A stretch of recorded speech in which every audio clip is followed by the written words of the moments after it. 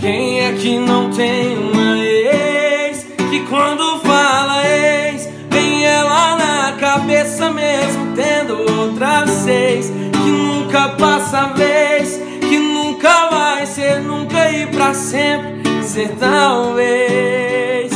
quem é que não tem uma ex